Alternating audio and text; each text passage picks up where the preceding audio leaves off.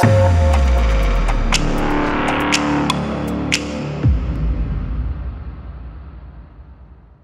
for joining us today on the Cloud Harmonic Security Spot. Today's topic is Global Protect Connect methods. Palo Alto Global Protect VPNs have a couple ways that they can be configured. Today we're looking at connect methods. A connect method is where the administrator decides how and when the VPN should connect. We have four different options when it comes to a connect method. Go to a connect method, hit network, go to your global protect, portals. We don't have a portal, so we're going to add one then the agent tab, add, the app tab, and here we have connect methods. So we have four different connect methods. The most widely used connect method, on demand. The on demand connect method allows the user to decide when they need to connect the VPN. Next one we have is user logon. The option automatically enables Global Protect connection after the user logs into their computer.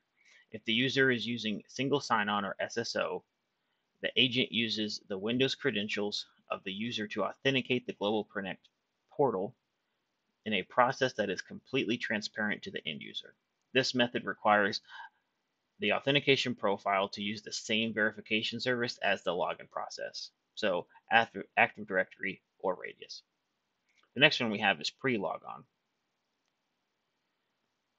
This option preserves pre-login and post-login services provided by corporate infrastructure, regardless of where the machine is located. Global Protect establishes a connection even if the user is not logged into their machine. This practice means that a company can create a logical network that maintains the security and management features normally achieved by a physical network. Tunnel selection and establishment happens before the user logs in based on machine certificates deployed outside of Global Protect. The next one we have is a hybrid method called pre-logon and on-demand.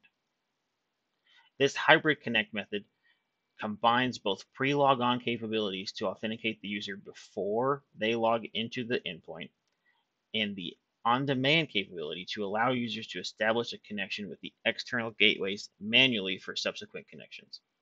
This is useful when they forget their password or work with their help desk to change their password and require access over a pre-logon VPN tunnel versus their regular on-demand tunnel.